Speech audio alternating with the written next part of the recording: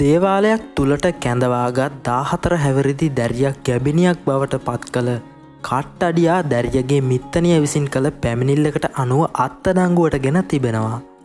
එසේ අත්තඩංගුවට ගෙන ඇත්තේ දෙනියාය ප්‍රදේශයේ දේවාලයක ප්‍රධාන කට්ටඩියා වූ අතර දැරිය මේ වන විට වැඩිදුර ප්‍රතිකාර සඳහා රෝහලට ඇතුළත් කර තිබෙනවා. මව විදෙස් ගතව ඇති මෙම දැරිය සිය මිත්තනිය සමඟ දිවිගෙවන අතර පෙර වතාවකදී ශාස්තරයක් ඇසීමට ගිය අවස්ථාවක ඇයට භූතදෝෂයක් ඇතැයි පවසා කිහිප වතාවක් දේවාලයට ගෙන්වාගෙන ඇත මේ අතර දැරිය රවටාගෙන මිත්තනියගෙන් මගහරවා දෙනියාය ප්‍රදේශය හෝටල් කාමරයට රැගෙනවිත් අපයෝජනයට ලක්කර ඇති බව වාර්තාවනවා. සැකකරු අධිකරණයට ඉදිරිපත් කිරීමෙන් අනතුරුව රක්ෂිත බන්ධනාගර ගත කර තිබෙනවා. පසු අදාළ දැරිය පිළිබඳ ප්‍රතිකාර කටයුතු සිදුවමින් පවතින බව වැඩිදුරටත් වාර්තාවනවා. මෙවැනි වීඩියෝ දිනපතා නර්මන්න පාත බටන් එක කලික් කර අපව සබස්ක්‍රයිබ් කරන්න.